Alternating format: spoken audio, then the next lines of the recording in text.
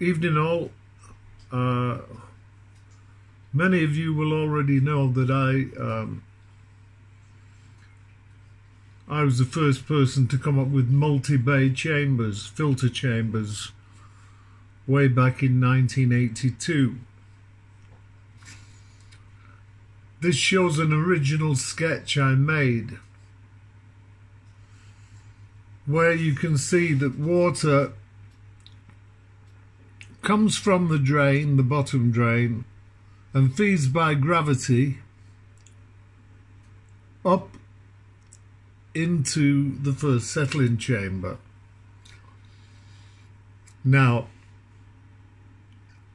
you see the arrows, and I've got it as settling one, settling two. These are transfer ports that transfer the water from the top of settling one into the bottom of settling two. Then from the top of settling two and upwards through the filter cartridge and then down the transfer port again into filter 2 and then to the pump. Yeah, that was the first one I designed. I did them in one, two, three, and four chambers. They they were uh, about uh, each chamber was about two feet square. Anyway, um, during trials, I discovered that a flat base was uh, a little less than useless uh, because what actually happened. The settling did work all the way through, all the way through, all the way through. And in the end, um, it became more waste in the filter than anything else. At the time, I didn't know that water tracked directly from the inlet to the outlet from the inlet to the outlet, from the inlet to the outlet, from the inlet to the pump pickup. Anyway, flat bases were an absolute waste of time. So later I tried to get round this and came up with this design. Enlarge it a little bit. Yeah.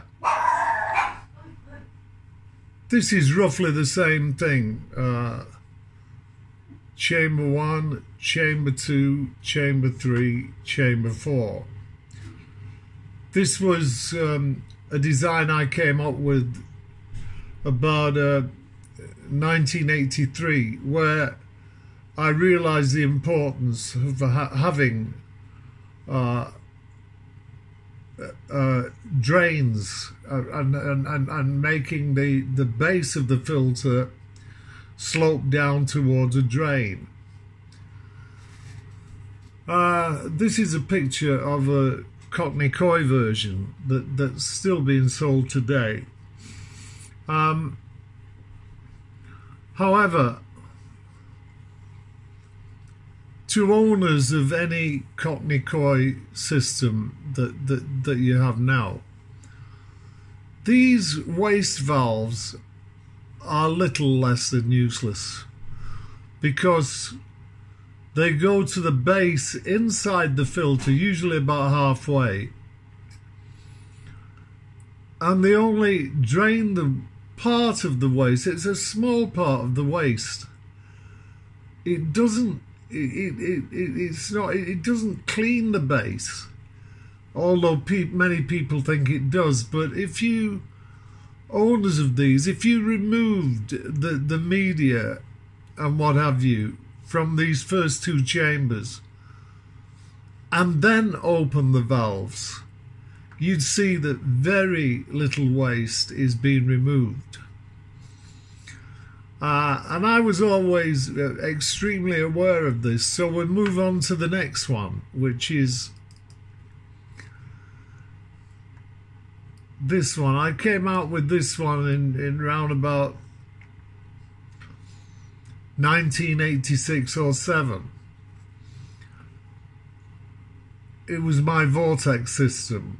But if you look closely, I, I finally discovered that um, in order to get waste valves to drain perfectly, I had to stand the vortex on a skirt. Take the shape of the filter down to a cone shape at the base, put a drain in, in it, and then open a valve to send it to discharge.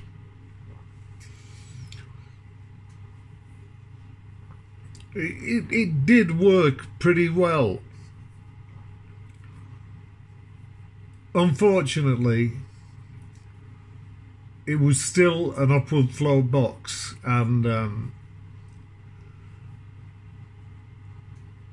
and the the the, the, the you, you, there was no way I could change the water flow. The pattern of the water flow.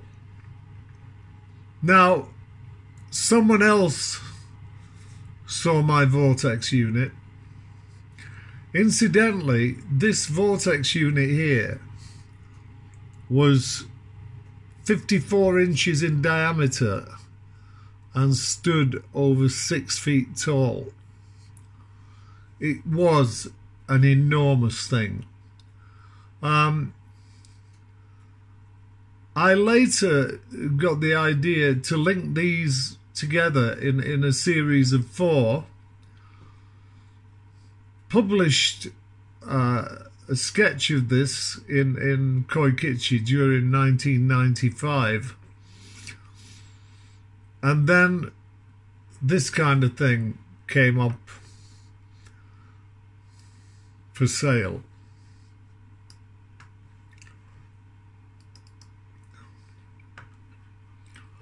This uh, is made by Cloverleaf, and I, I think it's still available today, but it is a a direct copy of my uh, four vortex systems placed in a square. Water comes in from the pond here.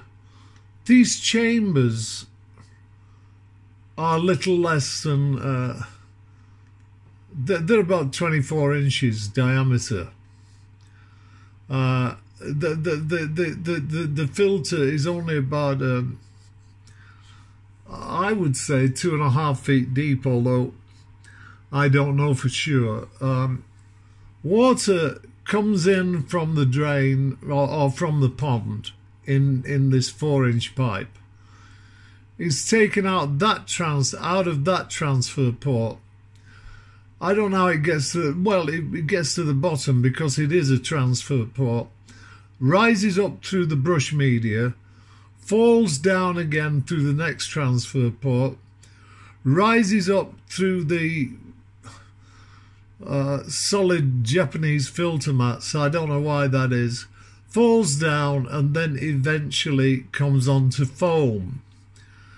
At the end, water enters this pipe and is taken by pump back to the pond.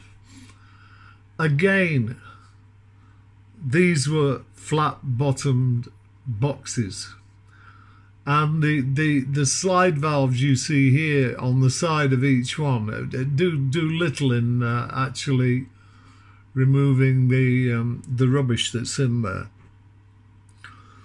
So um,